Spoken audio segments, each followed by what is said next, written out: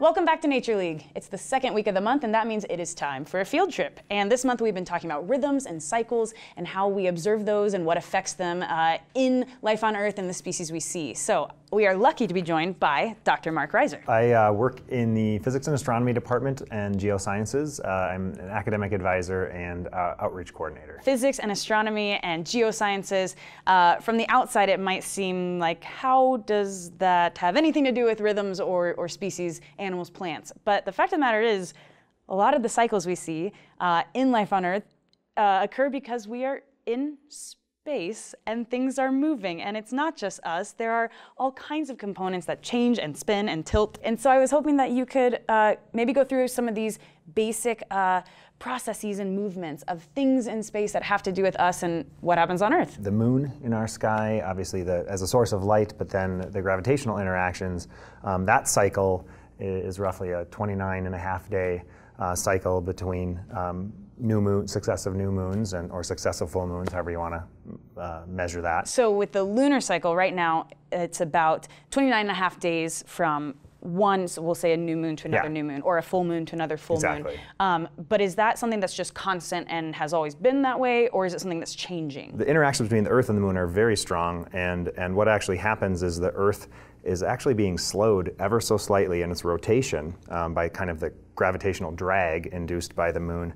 Uh, and as that happens, the Moon actually drifts a little bit farther away from the Earth, and the period uh, between new moons is actually slowly going up as the Moon gets a little farther away. A very slow process and a very gradual effect. It's something on the order uh, of around a- centimeter or two a year that is drifting away. We've actually confirmed and measured this with the Cool. mirrors left behind on the on the moon by the Apollo astronauts. We can measure uh, that that distance uh, to great precision. If we still call a month a month and want to base it off of the moon, we will have to somewhat increase that. Right. yeah, they'll be longer than 29 and a half days in the in the future. When I think about the way that uh, life on Earth is affected and has um, kind of environmental cues, so much of that has to do with light and something like Mm-hmm. Photo periods, so light periods, so how much light there is and when. Mm-hmm. And that changes throughout the year and changes throughout even the day. And Sure. so the biggest things that Earth and the sun do, what's kind of happening in space? What makes a season happen? The primary mover, or the primary driver, I should say, in, in the seasons is, is the, the orientation of our uh, axial tilt relative to the sun and in whichever hemisphere you're, you're living in at that time. For more or less half the year, um, people in the northern hemisphere are more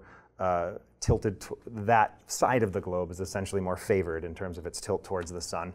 And that essentially leads to a couple factors then from there are basically how direct um, the sun's rays are, so ultimately how intense the sunlight is on the ground, and then how many hours of time actually go by before you get your sunset once the sun rises. So you get longer days in those months when the your hemisphere is tilted towards the sun and you get more intense sunlight. I was also thinking about some longer term cycles that we might see Sure. and, and how that affects some of the rhythms and, and energy on Earth and for things that live. And so the idea of, of solar cycles and these 11 year cycles, mm-hmm. I was wondering if you could kind of explain what those are. Yeah, on Earth, one kind of rudimentary way to, to analyze one of the cycles of the sun is just count sunspots.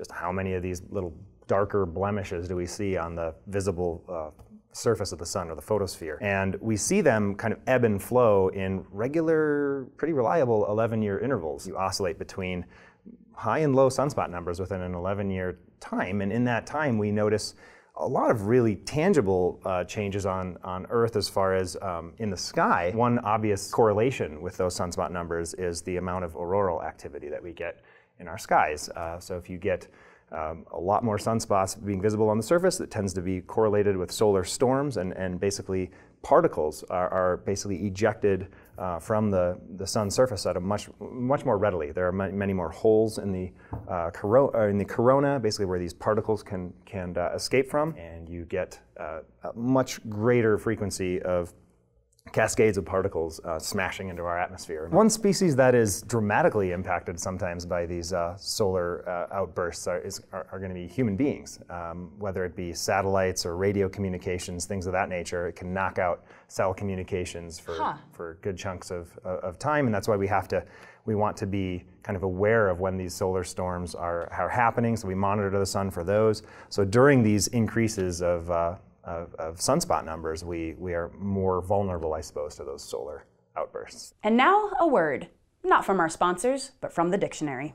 Welcome to this month's Wild Word. Once a month on Nature League, we'll look at the etymology or origin and history of words related to nature. This month's theme is rhythms, so we're going to break down one of the most important biological rhythms on Earth. This month's Wild Word is circadian. During our lesson plan, we discussed examples and mechanisms of circadian rhythms. We also touched on the time period of circadian rhythm cycles, which is about 24 hours. It just so happens that the etymology of this word is pretty dead on when it comes to the definition. The word circadian can actually be traced back to Latin, but it has two separate parts we should look at. The first part, circa or circa, is a Latin word meaning about or around, occasionally used for estimations. The second part of the word circadian contains the root dia, and this comes to us from the Latin word dies, meaning day. Circadian rhythms have periods of close to 24 hours across species, making them one of life's rare constants. However, the periodicity can change due to environmental variables, so these rhythms aren't exactly 24 hours on the dot. So while a formal definition of circadian circadian is recurring naturally on a 24 hour cycle, even in the absence of light fluctuations. Circadian comes from two Latin words that literally mean about a day.